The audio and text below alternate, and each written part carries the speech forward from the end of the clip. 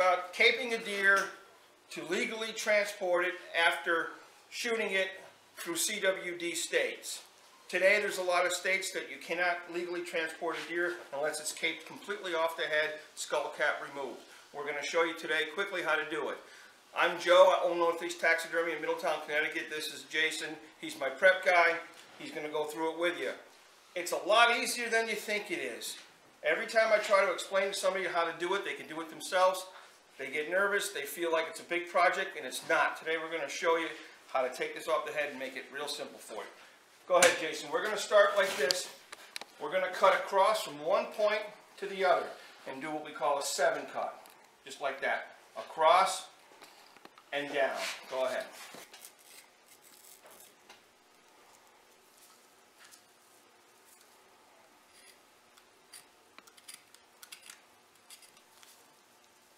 Can you see here? Where he's cutting from one antler butt to the other, straight across. We use a carpenter's knife here. That's what we recommend. It's the easiest and best way to do it. Always sharp. You can bring it with you on your hunting trip. Much easier than a knife. You're going to need that when you get around the eyes and you get around the nose.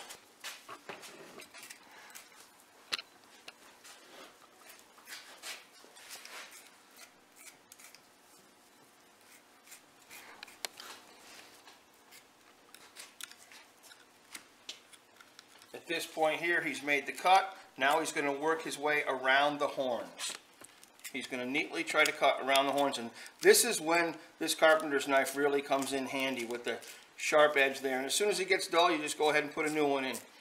And it'll allow him to get a nice, neat cut around these butts.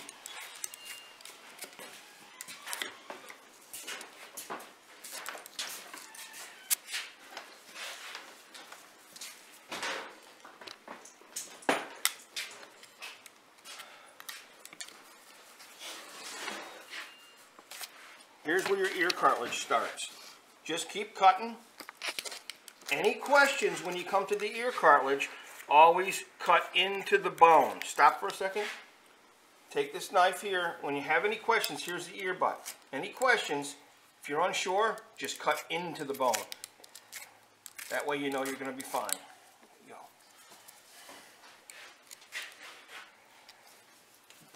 Now he's coming around the other way. He's going to meet the other side.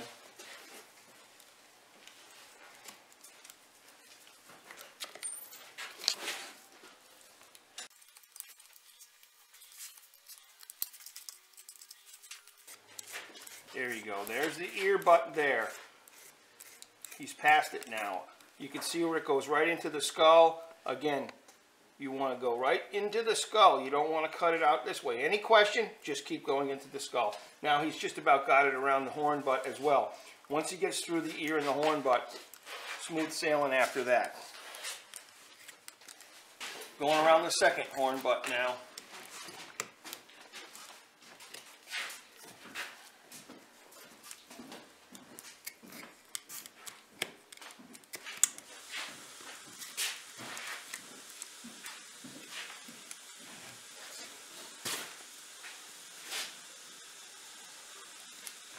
Going to do the same thing with this ear butt as he did with the other one. This way we, we can show it to you twice.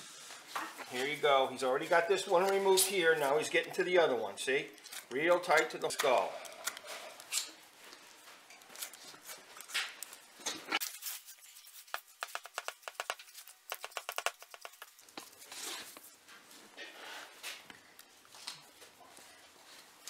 Just like the other side, he's going to come around here work it, stay in close and just work it little at a time, little at a time.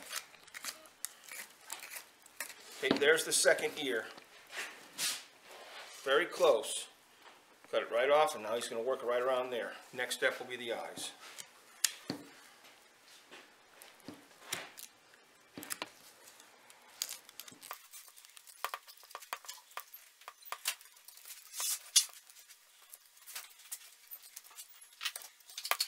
Okay, we've got it skinned around the horns. We've got the skin past the ears. We're ready to just remove it off there and go to the eyes next. Again, cut straight across here, and he cut right down like a seven across and down, and then removed it around each horn butt and both ears. And it should go right back together just like that. You can literally put it right back and it looks just like that. Yep. And then you, Now he's gonna just come past this area here, and we're gonna get ready to finish off the head. At this point here, you can clearly see, nothing, nothing here is hard. Very, very simple, nothing that anybody can't do.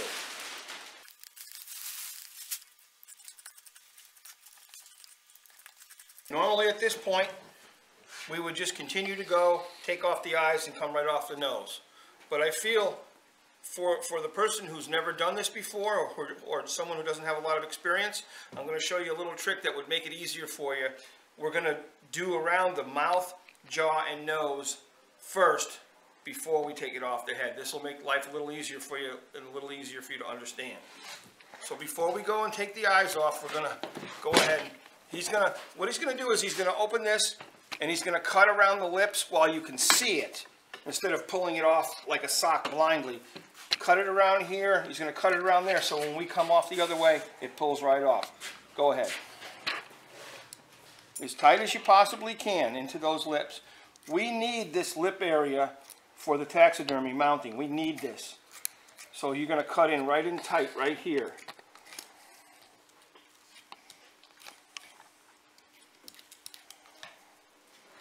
You can see where he's in there real tight.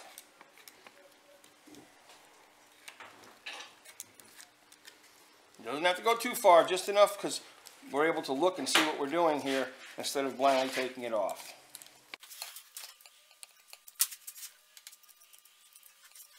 He's gonna, he's gonna pull this back. He's got it down here. This part of the lip we need for tucking. So you can see that we're gonna cut right here, real tight, right to it. And he's gonna flap this over. And you, he's gonna show you how he cuts the nose cartilage.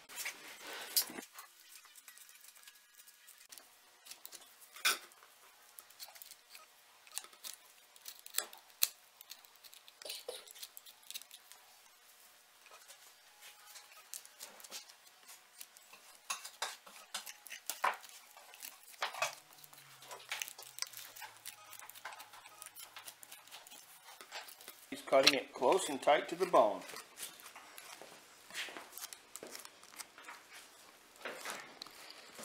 This is kind of the part where everybody panics on, but if you do it this way, while you could see it, it makes it very, very simple. And no chance of having any issues.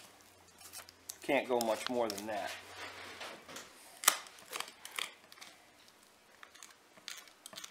Okay. You see, just got right in there and he removed all. This is this is the hard part, but it's all done now. You don't have to worry about any of this nose cartilage or any of this meat or anything. You don't have to worry about that. This is the important part that we have this lip area in here. Okay? So at this point here, we're going to go back to finishing pulling it off the head. So when we get to the tricky part, it's already done. And we're not blindly doing it. We're, we're able to see what we're doing. Everything is skinned off here. He's going to now just go go right past where the eyes are. When we get to the eyes, that's the tricky point that everybody gets worried about. I'm going to show you how to do it. No sense of panicking, very easy. Okay. You're going to start noticing here, you're going to start seeing the eye coming up to you. At this point here, when you get to there, okay, he's coming to the eye now, right here you, when you get to this area here, if you've never done it before, you're going to get nervous. You're going to say, geez, I don't know where to cut. I don't want to ruin the eye. Whenever you don't know, just back it up and cut into the bone. Now, Jason knows right where to cut, but I, but I want you to show them. Just If you're unsure, just cut into the bone. There you go. Just keep cutting backwards into the bone. Once he gets the hole, he puts his finger right in there from the back. Now he can pull it up away. And the next little spot is the tear duct. And we'll show you how to get that. Again, just very unsure where to cut, cut into the bone. Takes a little more time, but you'll easily get it off. He's getting to the end of the eye now. Go ahead and cut. Cut real tight and close. Okay. Keep going. Now he's getting to the tear duct. When you get to this tear duct right here, the, the, skin holds tight into that tear duct. It's very tricky. So just put your finger in the eye, pull on it so you can see, and cut right into that. He's, he's cutting right into the bone. Go ahead, cut right into the bone right there. Just keep pulling and cutting into the bone. Like I always say, when you're unsure, just keep cutting into the bone. He's almost past it now. Again, this is, this is not hard to do. Few little tricks, you'll have no problem at all. There you go. Okay, we're gonna just finish the last eye over here and then pull the, the skin off the rest of the head. Again, like the last eye, he's cutting very close and very tight. Skin is here, but he's cutting back there to make sure that um, he doesn't cut through. There you're gonna start opening the eye. Hold on one second. Notice how the skin is here, but he's cutting back here. Again, cutting into the bone.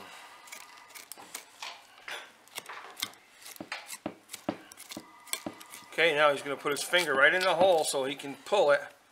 Now, again, second tear duct. Cut real tight to the tear duct. If you're unsure, cut into the bone.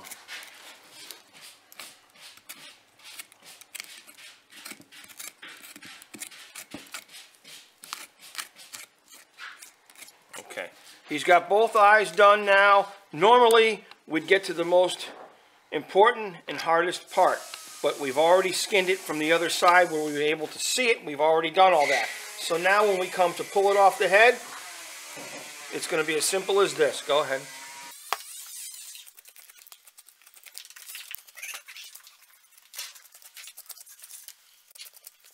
Okay, now we're starting to come into the spot that we skinned earlier. And where it would normally be very difficult, there you go.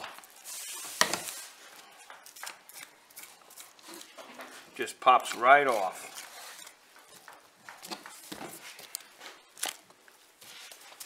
Okay, the cape is all set.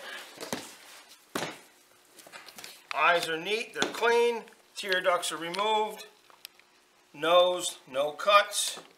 The ears are perfect. The cape is all set. Next step is we're going to cut the skull cap off the skull. Once that's done, this cape will be ready to be shipped or prepared to travel on your person when you leave. Normally, you would cut this by hand with, with a handsaw, but seeing that we have a sawzall and I don't want to take up too much time, we're going to do it with a sawzall. Um, but the important thing is to cut it in the right spot. He's going to cut it across here and then across the side. Go ahead.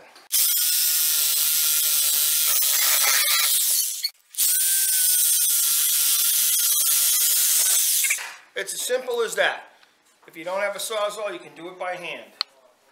Cut it just right. You can go ahead and remove the brains right. They'll come right out. Just like that. Totally clean. Remove the existing meat there.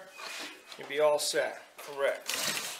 Okay, now what we have, if you go on a hunt out of state, you shoot a whitetail, mule deer, or whatever you have, what you're basically looking for is the smoothest, safest, most cost-effective way to transport your trophy. Also keeping in mind, now you're legal to transport through CWD states. Again, the cape. You can put it in a nice small spot like that, doesn't take up a lot of room. Clean off, trim off the rest of the meat here, and your skull is legally ready to transport. You can put it in a nice little container, it's easy to handle. If you want to freeze the skin before you go, don't roll the skin. If you roll the skin, it generates heat like a bale of hay. Heat accelerates the growth of bacteria, causes the hair to slip. Bunch it up like this, put the head on top. This way the head will freeze first and the head will thaw first because bacteria grows first and fastest in the muzzle area. Bunch it up like that, you can get a nice little tote, put it in there and freeze it, and then you can go ahead and put the antlers right in. I hope this video was beneficial to you. I tried to make it as short as I possibly could without leaving out the details. I designed this video for the novice as well as the experienced hunter. Now you are able to get your skins and horns across state lines and comply with the CWD regulations. Thank you.